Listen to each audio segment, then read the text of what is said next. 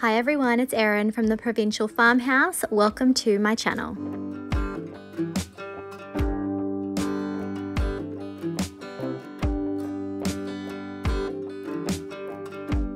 Today we're going to be doing something a little bit different. I'm going to show you how you can make new items look vintage and old. You can find a full product list in the description of this video and all your crafting needs on our website, theprovincialfarmhouse.com.au. Our first project is a flat pack crate that I picked up at a hardware store in Australia called Bunnings and I'm sure that you can probably find these in a lot of different places. I had to put it together myself and that's always fun. So I've got the drill out and I'm just starting to add the screws to the pre-drilled holes. This was pretty straightforward. Um, a few times I did have to make a couple of pilot holes just to make the process a bit easier but honestly it was pretty straightforward I think most people would be able to do this. If you don't have access to a flat pack crate, I'm sure you'd be able to go out and find something similar at a lot of stores and be able to turn it into something similar to what we're going to do today. Because the whole purpose of today is to give you ideas on how you can make new things look vintage and old. To begin this process, I'm going to be using my mister to mist the wood so that the stain that I'm about to use will be able to be distributed more evenly. Today I'm using one of my favorite products, Dixie Belle's Tobacco Road Voodoo Gel Stain. And you can see as I'm applying it, I'm also misting the stain as I go. This again is going to help with even coverage and it reduces the amount of stain that you have to use. It makes it go just that little bit further. I'm only going to be doing one coat of this over the entire crate because we are going to be layering some paint over the top. I just didn't want that new looking wood peeking out underneath my paint. I think it would defeat the purpose of making this look weathered and vintage. This is obviously unsealed wood. So now I'm coming around with a small candle and I'm rubbing wax over the areas where I want there to be a bit of resist so that my paint doesn't stick as well. I'm then going to mix up some of Fusion's toasted coconut milk paint. I'm going to put one capful in. This is about the equivalent of a tablespoon approximately. And then once I've done that, I then need to add the exact same amount of water. So another capful of water to my milk paint mixture and then I'm going to stir it really well. If you are worried about lumps and bumps and it being a little bit chunky, you could always use an immersion blender for this. I'm happy for it to be a little bit thicker. Now I am using a natural bristle brush to apply my milk paint. I just find that it distributes it a little bit better and I'm going to apply it to the entire crate. Once my first coat is dry, I am going to come in with a second coat and I will of course add a couple of coats to the bottom of the box as well.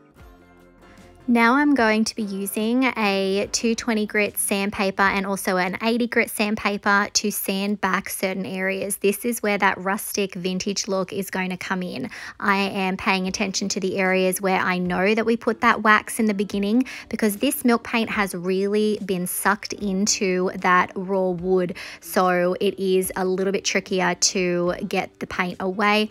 I'm using the 80 grit first and then I'm coming in with the 220 grit to smooth out out any of the really rough edges and to just make it a little bit more of an even distressing. I'm going to work my way around the box, repeating the same process and distressing wherever I feel like that natural wear would occur. If this look isn't rustic enough for you, maybe it's a bit too subtle, you could use some sort of a crackle medium or some sort of PVA glue underneath your paint instead. I went a little bit more subtle this time, but you can always take it to another level by providing more of a resist underneath your paint, whatever paint you're using. Finally now I am going around the top edges of the crate and of course distressing the inside of the crate as well.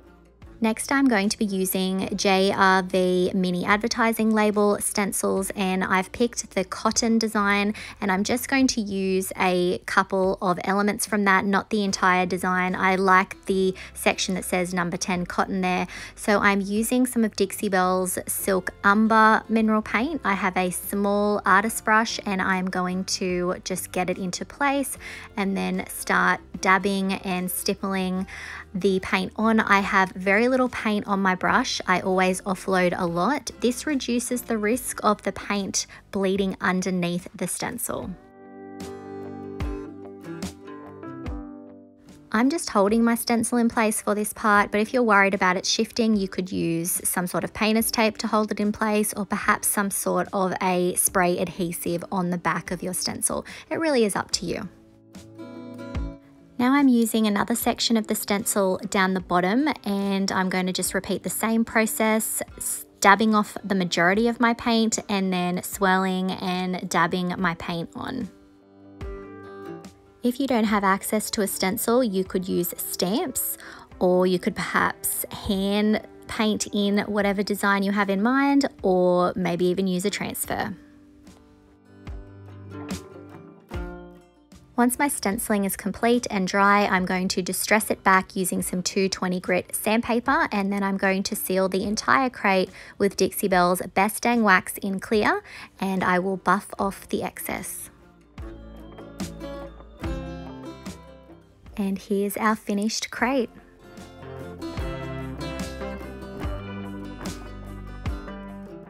I think this definitely has more of a vintage weathered feel now. Let me know in the comments what you think of this project.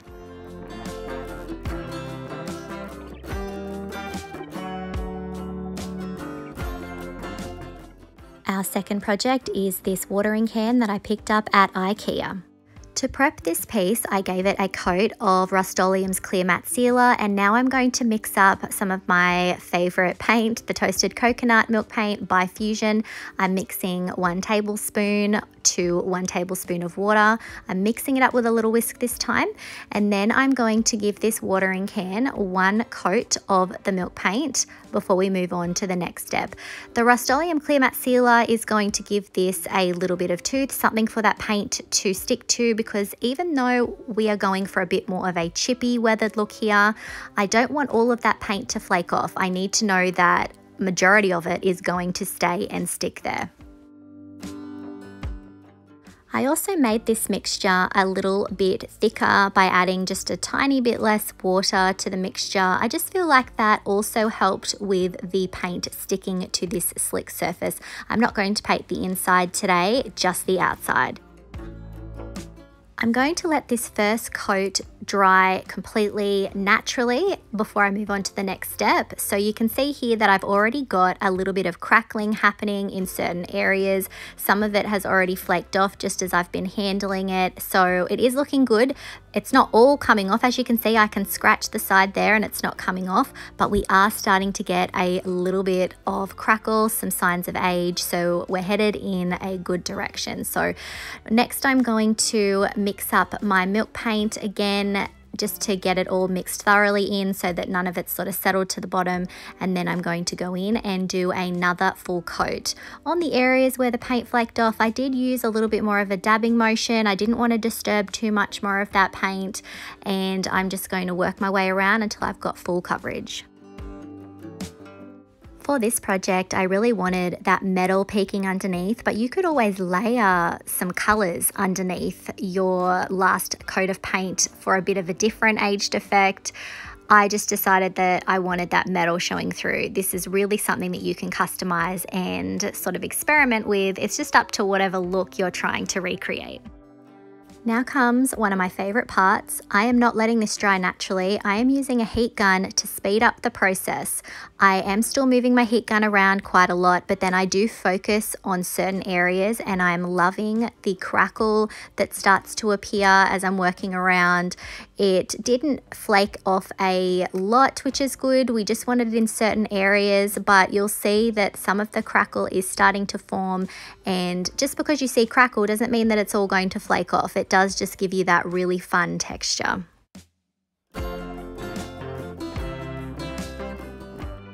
So once my second coat is completely dry, you can see here the wonderful crackle that I've managed to achieve. It is looking so good. I love this look. I've got bits that are going to flake off. I've got some that aren't. This has just turned out really, really well. Next I'm going to work my way around the watering can just using my finger to see what paint I can disturb and help to flake off for that natural chippy look, especially around the water spout. I've noticed there is a bit of paint that's able to come off. So again, just working my way around and loosening any of the paint that's ready to go. I also found that using my IOD silicone blade really helped loosen some of that paint. I was able to pull off some more of the chippy paint there. You can see we've got a few nice big chips happening there. And then when I wasn't able to get uh, any more of that paint to chip off, I did decide to come in with some sandpaper. I am only using a 220 grit sandpaper. I don't want to be too rough with it. So I'm going around the areas that would naturally age, like around the rim and the spout in the handle and I'm just doing a little bit more distressing.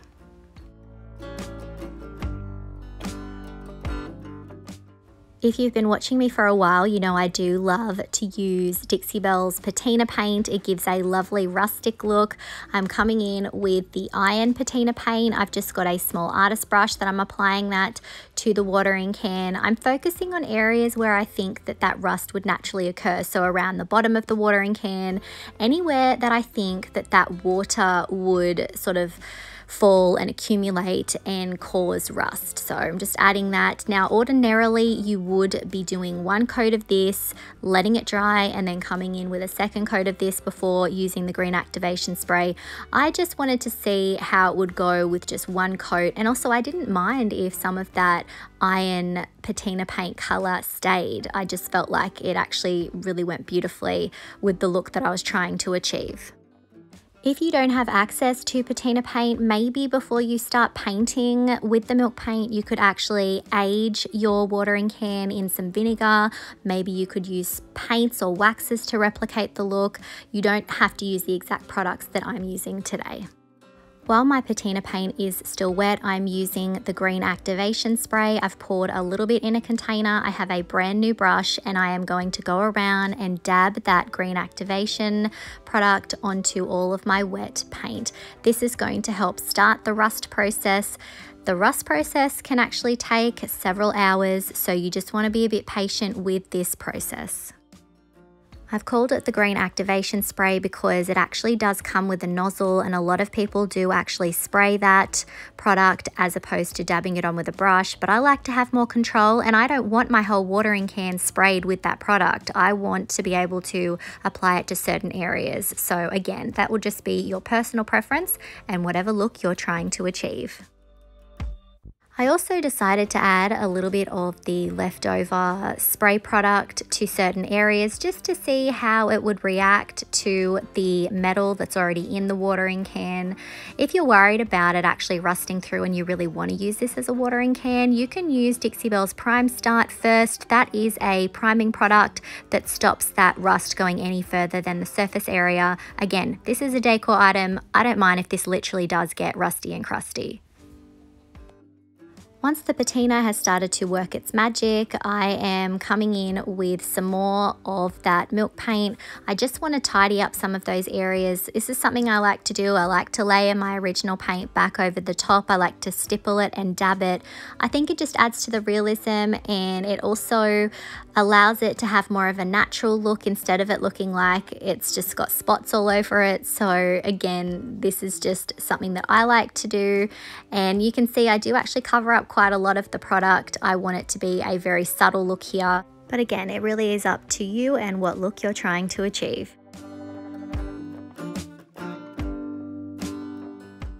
So I can see that not all of the iron paint actually activated and that's why they do say to do two coats. So if you really want it to be really rusty you would make sure that you do those two coats. I'm not minding that dark of the iron patina paint underneath. I think it actually looks a little bit like maybe it was painted black at one point. So it's just all about building up those layers when you're trying to make something look vintage and weathered I then came in with my heat gun again just to make sure that we were getting a little bit more of that crackle just to help the extra layer of paint blend in with the look that we'd already achieved. Now I'm going to be using one of the designs from JRV's mini grain sack stencils. I'm using this design here. It has a lot of text, which I love, and I'm using very little paint. I have got that Umber Silk Mineral Paint again. I'm dabbing off a lot of that excess. This was a little bit tricky. I probably would recommend that you use some sort of spray adhesive. Um, I really had to hold it down a lot because of the circle that was cut out around the edge, but I'm going for a vintage look here, so I didn't think it was too bad if I did actually not get it perfect. Once that paint's dry, I'm coming in with some 220 grit sandpaper to distress the stencil design itself and then sealing the entire jug with some clear Best Dang wax. Okay, you guys know I could not stop there. I had to grab some of my brown Best Dang wax and I am adding it over the top of the jug and I love how that product has sat down in the cracks that were formed by the milk paint. I think it just adds so much weathering and I just love this look. So I'm going to apply the brown wax to the entire watering can and obviously if it gets a little bit too dark in certain areas I'm able to use that clear wax almost like an eraser and I'm able to lighten the look right up. If you don't have this wax to use, you could always use a glaze or a paint wash, or if this is a little bit too much for you, you could leave this step out.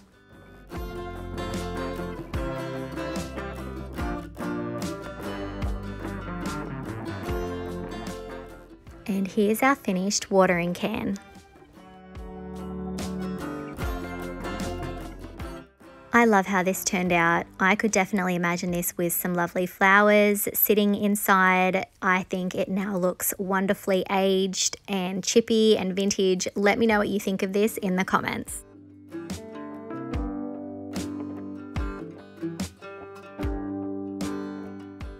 Our final project is this bucket that I picked up from TK Maxx on sale last year. I've primed it with Rust-Oleum's Clear Matte Sealer and now I'm using Fusion's Sea Glass Milk Paint. I'm going to use about a tablespoon of the mixture and obviously then add a tablespoon of water and then give it a good stir.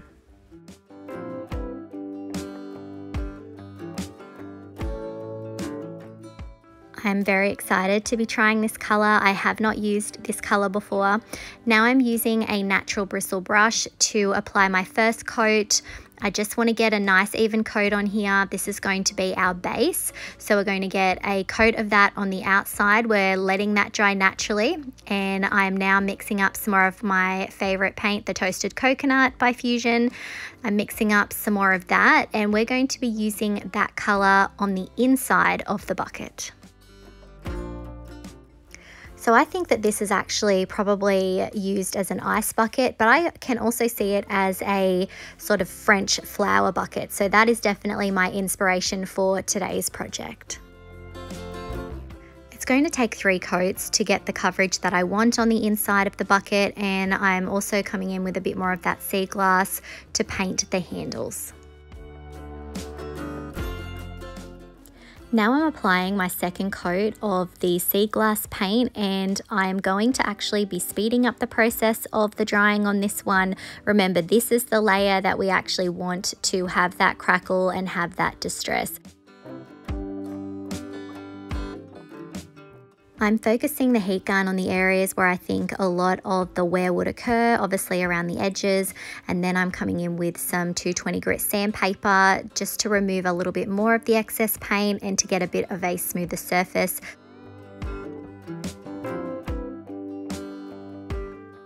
I'm then coming in with a paint scraper just to remove a little bit more paint around the edges and again just where I think that that wear would occur.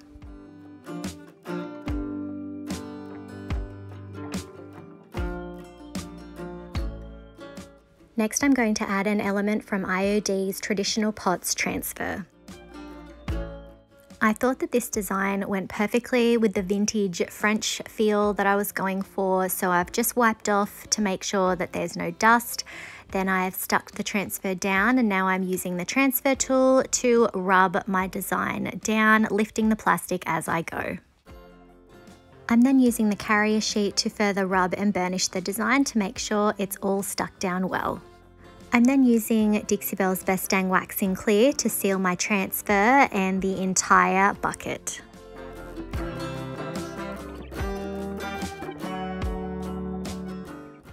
I like to use circular motions and really work my wax into my paint. I just find that this gives me more even coverage and it definitely buffs back nicely. After sealing the interior of the bucket, I'm adding some of Dixie Belle's brown Best Dang wax to give this more of an antiqued feel. I'm going to add this to the entire bucket and if I feel I've gone a bit too dark in certain areas, then I can always use the clear wax like an eraser and remove the excess.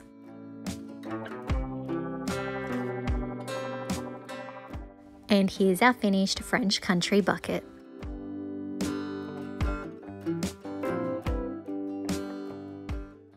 Really happy with how this turned out. It was a plain bucket before, now it feels like a beautiful vintage French country piece. Let me know what you think of this one in the comments. Really hope that you enjoyed today's projects and that it's inspired you to look at some of your new decor in a different way. You can make it look vintage, weathered, and aged with paint products, waxes, really lots of opportunities to take something that's a bit generic and make it unique. If you enjoyed today's video, I would really appreciate it if you would hit that like button, comment, and share it out to a friend that you think might enjoy it. If you're not already, I would love it if you could hit that subscribe button and the notification bell so that you don't miss out on any of our videos. You can find the products used in today's video on our website, theprovincialfarmhouse.com.au. Thanks for watching.